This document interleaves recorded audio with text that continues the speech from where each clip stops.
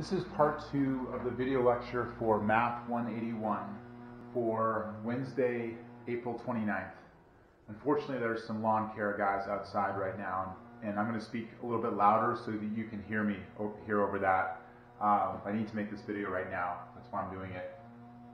In part one, we were talking about the average value of a function, and we derived this simple formula to calculate the average value of a function, which is equal to uh, 1 divided by b minus a. So the average value of a function on a certain interval is equal to 1 divided by b minus a, that's the two endpoints of the interval, times the integral from a to b of f of x dx.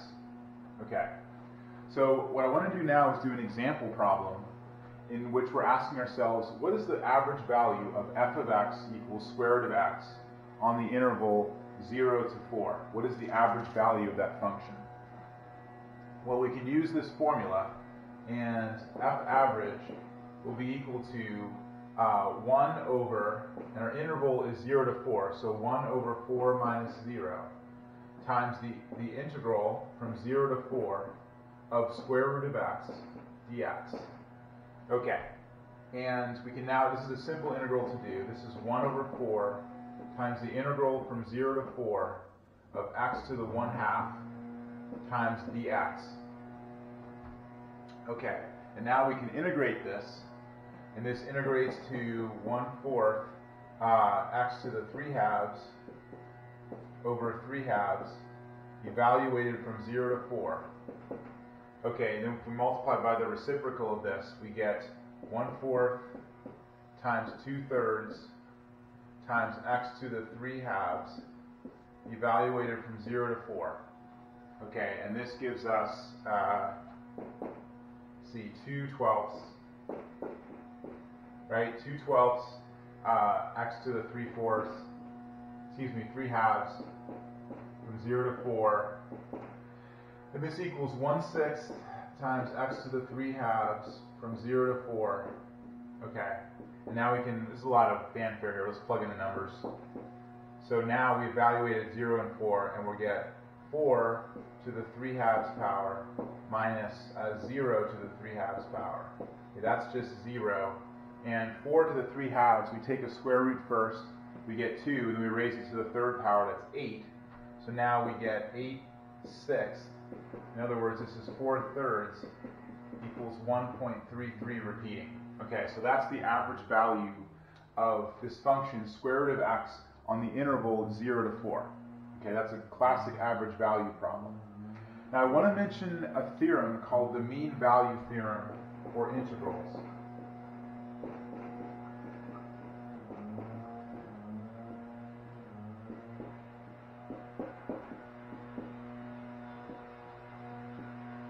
The mean value theorem for integrals. Okay. Um, these guys seem to have particularly loud uh, you know, uh, tremors. But anyway, uh, the mean value theorem for integrals. What this says is, it says if if a function f, if f is continuous um, on some, if f is a continuous function, let me get this right here. Uh, sorry about on AB. Yes, of course. On the interval AB, then there exists some c, some number c, such that f of c is equal to uh, the average value of the function on that interval, which is 1 over b minus a times the integral from a to b of f of x dx. Okay, so let's go through this. The mean value for theorem for integrals says if, if you have some function f that's continuous on an interval, then there exists some c, and by the way, this c is in, c is in the interval ab. There exists some, some number c, finally they quieted down for a bit. Uh, there exists some number c in the interval ab such that the uh, such that f of c, which is equal to the average value of the function, such that, f of c equals 1 over b minus a to the integral from a to b of f of x dx. There's some c such that f of c equals the average value of the function over this interval. Okay, um, I want to uh, talk about what, what does this actually mean. So let me erase this, this upstairs uh, example and talk about what this, what is the mean value theorem really saying to us graphically or visually. So let's imagine we have some function, have a graph of this function. Okay, and the graph looks like this. Like that. And we're interested in some interval. Let's say we have some interval A and then B. What this is saying is that there exists some number C, and C could be something about right here. There exists some number C such that f of C here uh, is equal to the average value of the function, okay? So this height here, this is f of c, which is equal to the average value of the function. And I'm going to draw a rectangle here.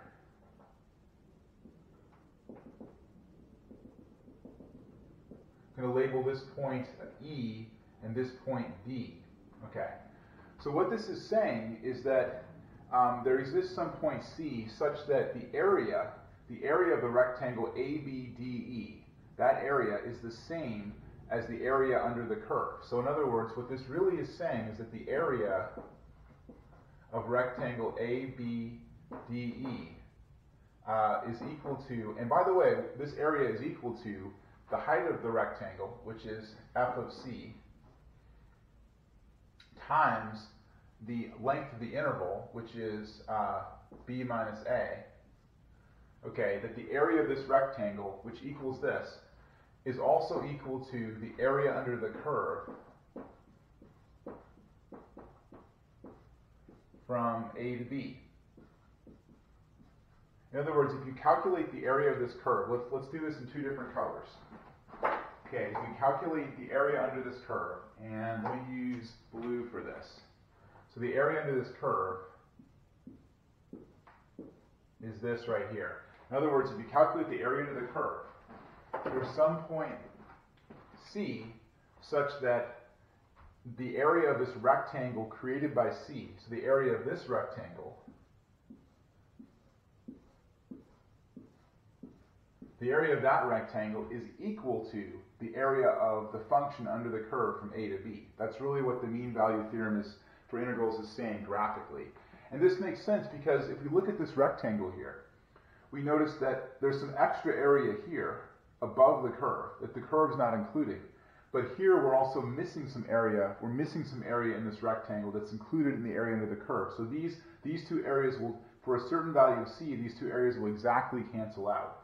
And there must be some point c such that f of c times b minus a which in f of c, by the way, is the average value of the function. f of c times b minus a, which is the area of this rectangle, is equal to the area under the curve from a to b. Okay, I've spent a long time talking about that. Let's, let's apply this theorem to the example problem we were considering earlier.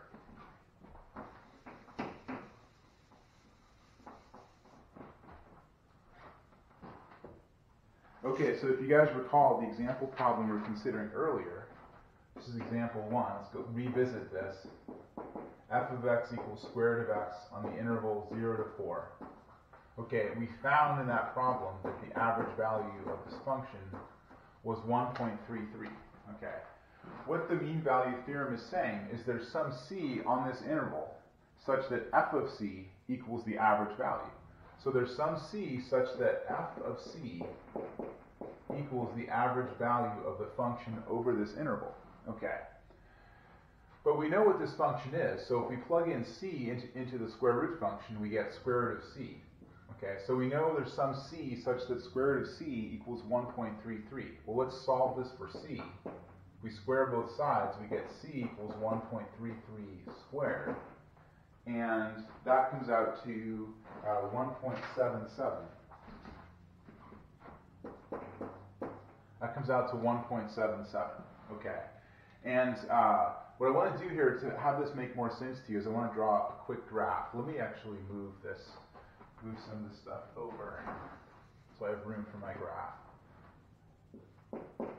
c equals, uh, what was I doing here? c equals 1.77. The average value of the function equals 1.33. So let's, let's create a graph of square root of x. And if we graph it, it's going to look like this. It's a function that tails off like this. And we're interested in the interval from 0 to 4. Okay, let's put some tick marks in here. This is 2, this is 1, this is 3. And this point right here, the square root of 4 is 2, so this is 2, and this point here is 1. That's our square root function. Now this is saying there's a point C at 1.77, so a point that's approximately here. There's a point C that's there. Uh, and we know that f of c, the function evaluated at c, is equal to 1.33. So there exists some c such that the area of the rectangle created by this point c, and let me draw this rectangle. The rectangle created by this point c, this rectangle is equal to, I'll draw it in blue, this rectangle right here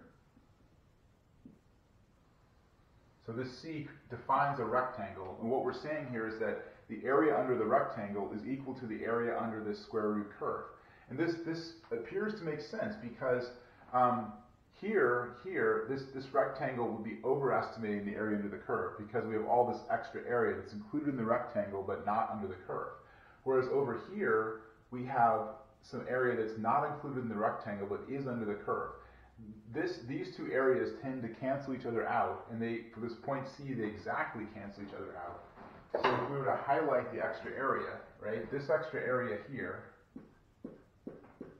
which is included in a rectangle but not included under the curve, and this area here, which is included under the curve but not in a rectangle, apparently those two areas are exactly the same for this point C, which as we found is 1.77. So if that makes any sense to you guys, and hopefully it does, uh, that will conclude part two of this video lecture. I will see you guys on Wednesday, and we can do a couple more practice problems relating to the average value of functions and the mean value theorem for integrals.